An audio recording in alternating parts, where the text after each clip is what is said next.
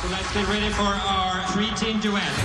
I have to give it to Abby. Our dances are good this week. You know, we want the girls to continue to get difficult, new, creative choreography. And if these girls don't bring home a win, Abby might not do that anymore. You know, we might get washed up routines that Abby did 10 years ago.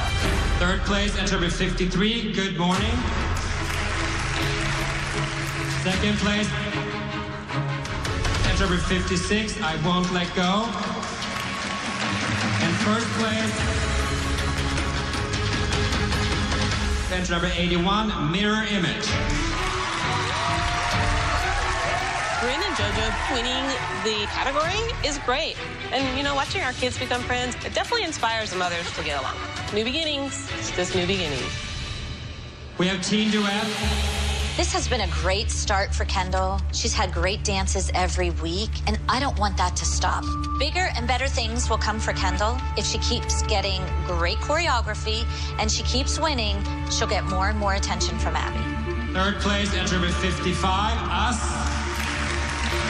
Second place.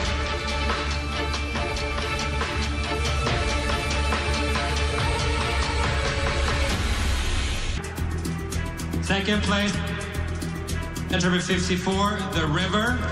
And first place in the teen duet category goes to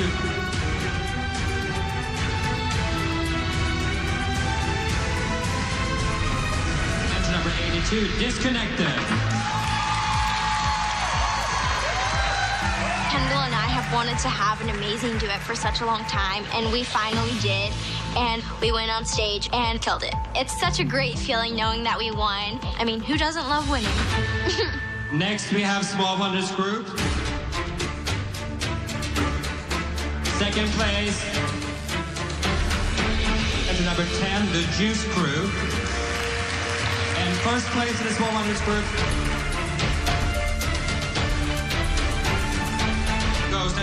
entry number 80, Cali Cuties.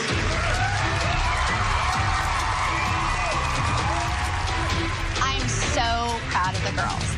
I knew exactly where they would be, and that was going to be on top, and that's where they were. We have teen Group. This Prince dance was fabulous, but our track record with tribute dances isn't the best. We sure as heck better win with Prince. Second place, number 83, Purple Fame. I don't know. Abby tried to give equal amounts of time to the elites and the minis.